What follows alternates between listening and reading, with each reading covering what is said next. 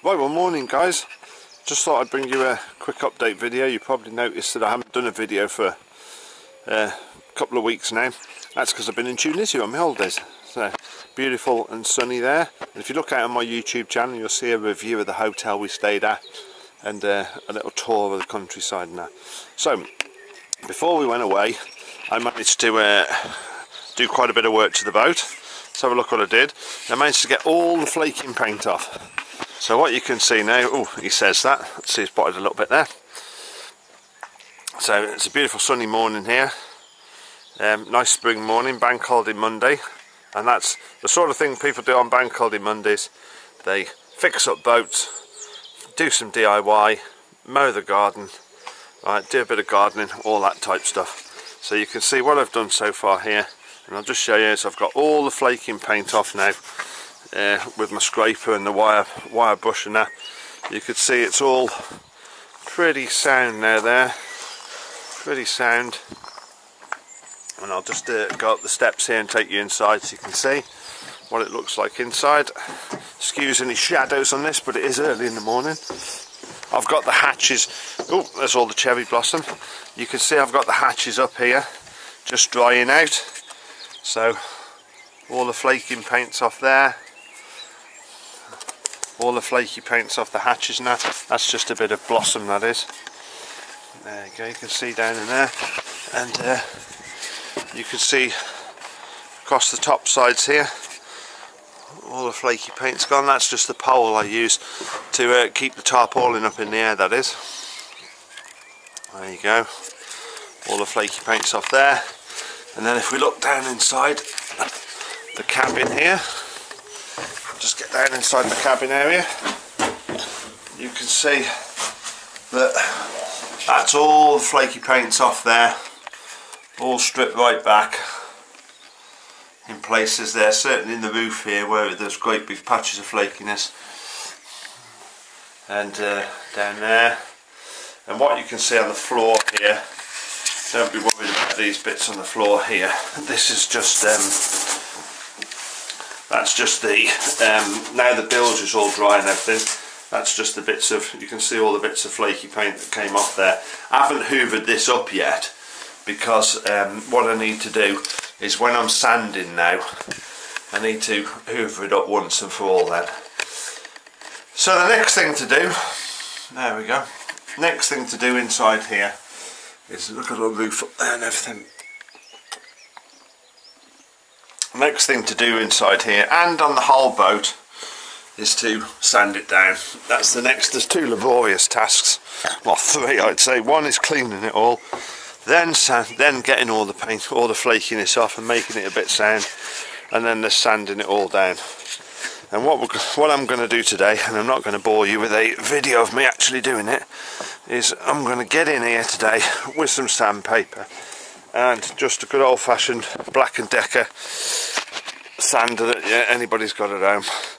I'm going to give it a good sanding off all the way across, all the way inside the floor bit there. I'm just going to rough it up. I'm not going to, I'm not sanding this smooth. I'm just going to um, just sand it so it'll take a decent coat of paint effectively. Um, I'm going to do the inside first and then I'm going to get round the outside with my sander sand it all off and the hull here all these bits here. Um, I'm not going to bother filling any of these bits here in. There's all little bubbles on it there. I'm just going to get across this with my sander to smooth it all off so that it'll actually take a coat of paint. There we go. And when it can, when I've got it to a stage where it'll take a coat of paint and under here I mean there's hardly anything you can actually do to this here. This is almost ready for taking some paint anyway because I've jet washed it. It's going to be under the water anyway. I don't think I'll actually do anything to that. Um, once it's ready for taking a coat of paint then with the shine off it I shall uh,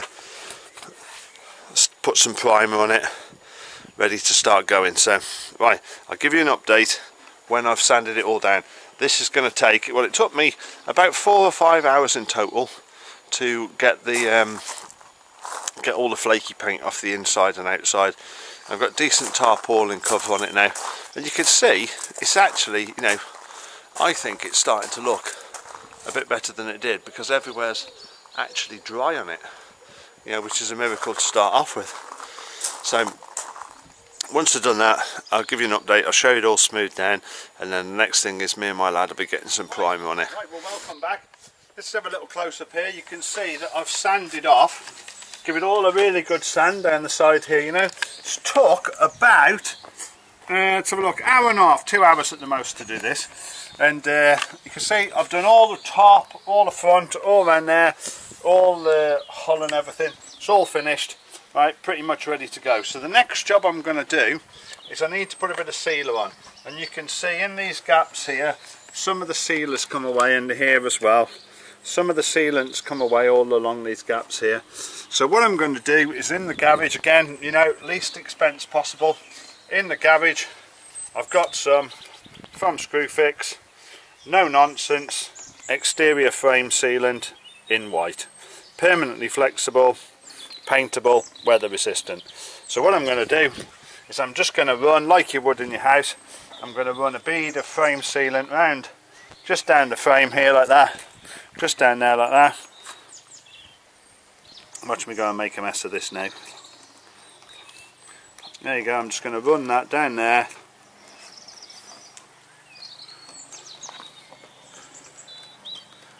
I know the guy, the professionals do this all in one go, but I'm just a bloke, so I'm not as professional as them. Let's just stop there, and then I'll show you what you do. Once we get that there, just get a finger on it there. Smooth it into the gap like that. I'm putting a bit of pressure on this because I want it to actually stick into the wood. There we go. All the way along like that in one go. Wipe my finger off and I'll just give it one more go over. A bit less pressure this time just to fill in where there's one or two of them air gaps have appeared there. Just to fill in them.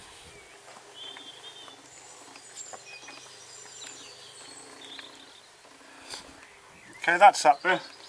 And I'll do one bit on the bottom here so that you can see the full effect when it's actually done.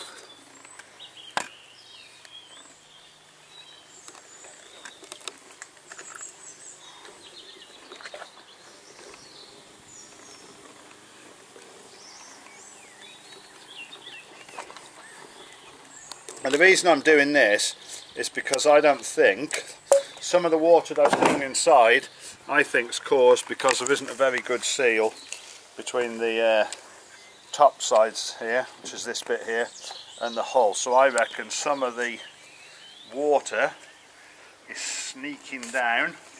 When you're sailing, the water's coming up and splashing on these bits here and I think some of the water inside is sneaking down in through there. I know it'll come through these, but I reckon it's coming down some of these joints. So that's why I'm doing that. Smooth that top bit out there a little bit.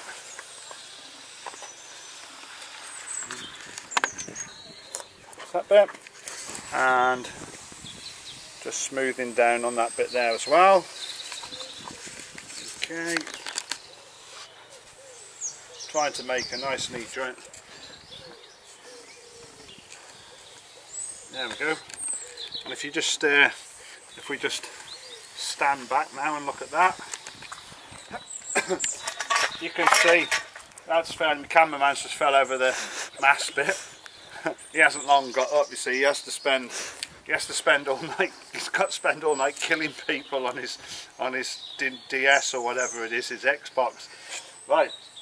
So you can see that's quite smooth there, quite nice and that will take a coat of paint quite happily be dry in an hour or so and uh, I'm going to do that all the way around the outside across the tops there and in these sides.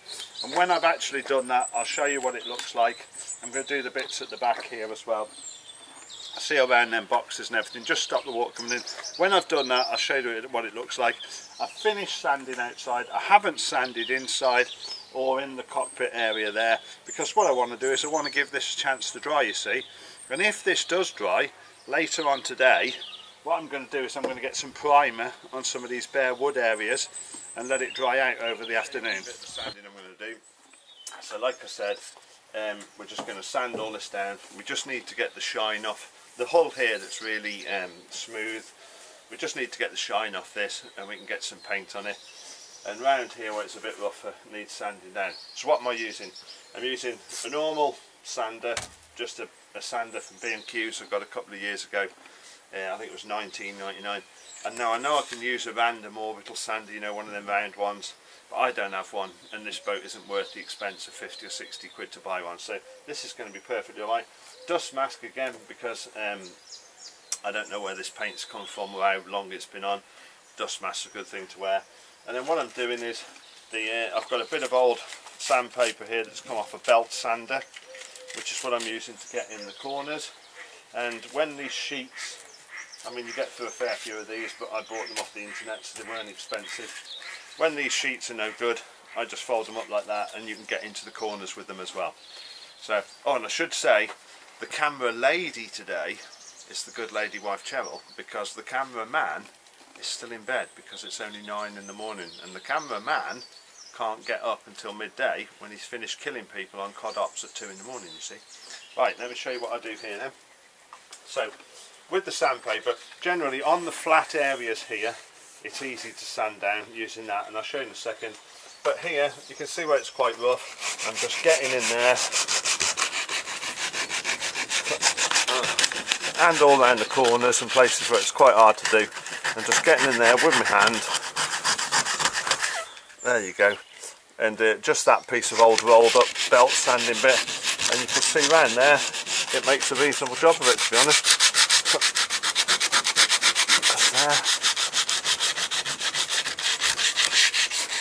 and all in there.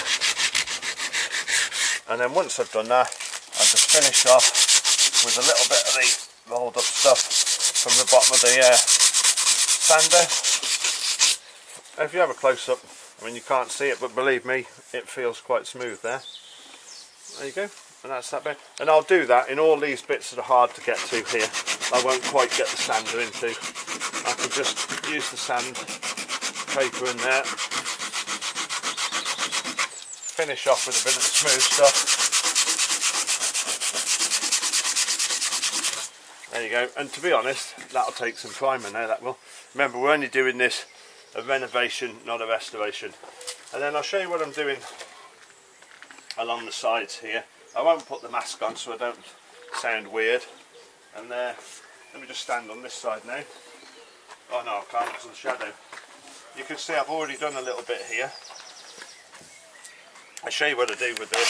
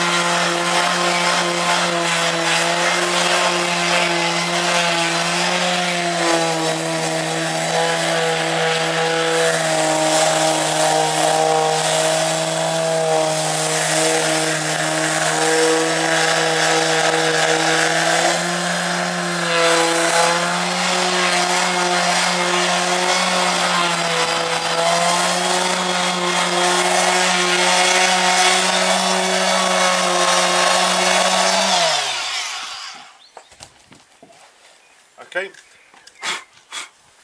and if you close up here, you can see, if you come close up here, you can see, look, all the um, timber here, look, you've got nice smooth timber here. We've took the shine, took the shine off this, that's all we need to do. And then should we need to, we can just get down in this little groove here with a little bit of sandpaper there. And similarly here, you know, if we want to, we can just get in there with the sandpaper. Right, so you can see it's come out quite smooth there, look. You know, that, that there is perfectly easy going to take a coat of primer, take a coat of paint. Um, it's, you know, it's not going to be mirror light, but it ain't going to be bad that, to be honest. And then I can finish off with this bit of sandpaper there. Just sneak down into this groove with that bit of sandpaper. Okay, same old view again, eh? Right, fast forward ourselves seven and a half hours from where I started this morning. Ah, you now look a little bit like, look, that's what I look like now. I look a tiny bit like the Home Pride Flour Man. But a uh, good job that I actually had the dust mask on there. And seven and a half hours on. And I think we're pretty much done with the sanding. You can see there, I'll just take you for a little uh, walk around the hull here. Okay, you can see I've done the hull right down there.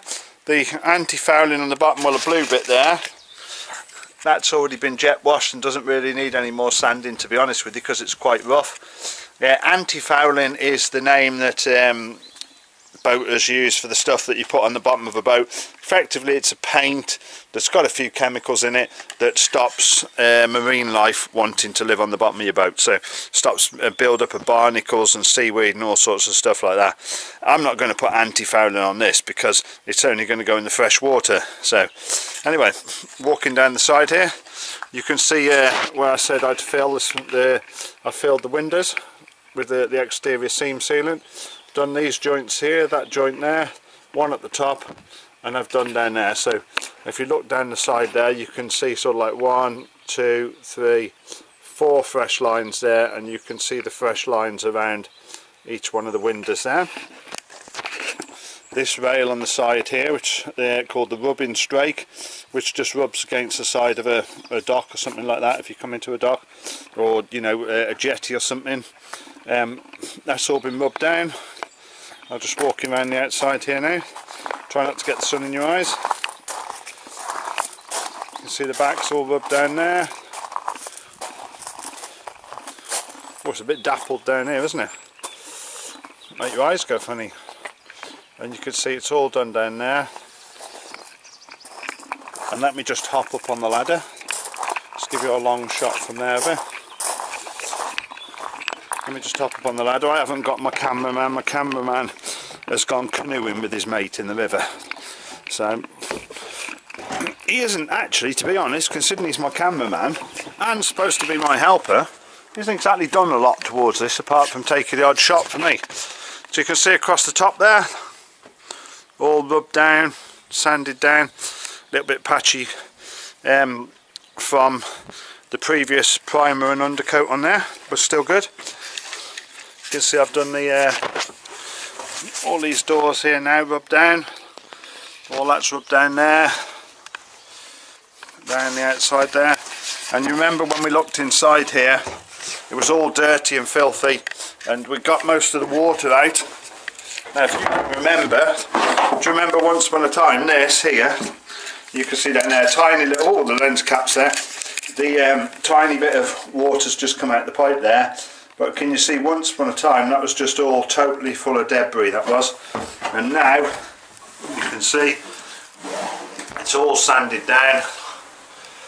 All sanded down in here as well. I know it looks fairly rough but that's uh, because it needs some primer on it yet. But all in here is all sanded down all hoovered up.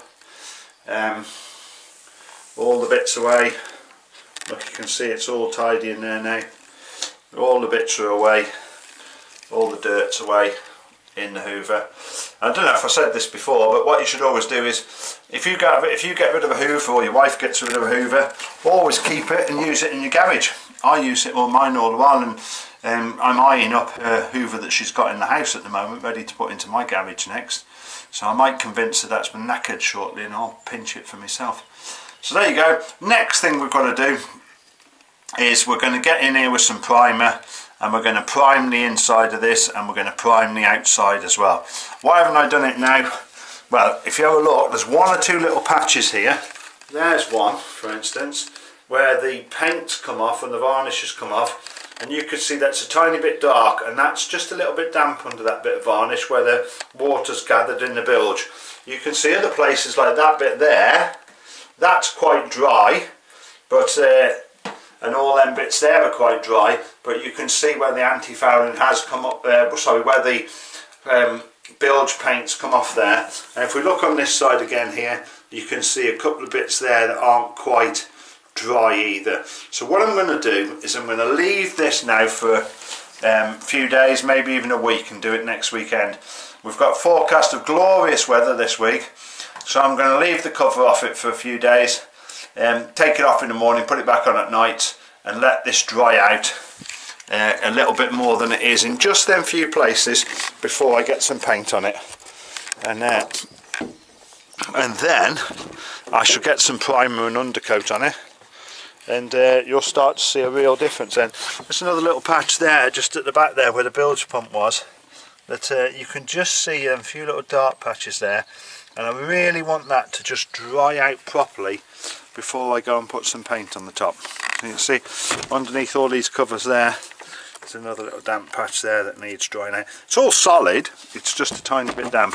Once that's done I'm going to get in here with the uh, with the hoover again inside. As that all dries out inside incidentally it'll all become flaky and as it flakes as it becomes flaky and drier it'll hoover off dead easy um, hoover and a bit of wire brush and that'll all come off fairly easy. And uh, jobs are good and we shall be laughing. Look at all that, I mean that there is absolutely that is bone dry beautiful and just you're asking to receive some paint but the temptation is to get some paint on it but you know it's what 10 past 4 now and it just ain't going to dry. I would I would love I would just I'm bursting inside to get some paint and primer on that but I can't so right. So now we've got it. What have we done so far then? So so far I'm having to do this myself you see. So far we've got it we've cleaned it we've uh, jet washed it we've been along it with the scraper and scraped everything off and now we've sanded it down and now the, the well the bit that I think is the fun bit begins where we start to actually get some paint on it. And we've got to decide what paint we're going to buy this week as well and I'm going to get some on order this week. The good thing is with it being bank holiday weekend I'm going to have a look around the uh, DIY places tonight on online because quite a few of them have some really good paint deals on this time of year. You know buy one get one free. Well you know if you're buying a great if you're buying a great big um, five litre thing of marine paint or you know weather shield or something like that that we're going to use on this that can be 30 pounds you know and if you're getting one of them free well you know you can certainly get a bargain this time of year. So the hard work's done. What time what's it took us so far? Well it's took us about an hour and a half to jet wash it and get it all clean and pump and bilge out. It took us five hours to scrape all the loose paint off inside and outside and just get it ready um, to, for sanding just to get the biggest bulk of the loose stuff off and it's took me seven hours today to sand it down. So let's say all told it owes me 15 hours labour now. Now I'm not going to charge it 15 hours labour obviously but I'm just telling you what sort of if you come to do this yourself what sort of commitment in time we're going to have to give this. I think that we've probably got another 15 hours to go on it because we're going to need to paint it in various different stages. We're going to need to get the primer on it undercoat top coat etc there's going to be a little bit of rubbing down in between you know and we've and then we've also got a good few hours worth of putting all the bits back on it. And of course I've done the mast but I haven't done the boom and the uh, top bit of the rigging either. So them two bits need to be done as well. So I reckon there's going to be 15 maybe even as much as 20 hours left in this boat yeah. But you know Easter weekend weather's getting better you know so we can get you know maybe get on the mast one night this week and get on the uh, boom one night this week and get them done a couple of coats of varnish on them and uh, we'll see how we go.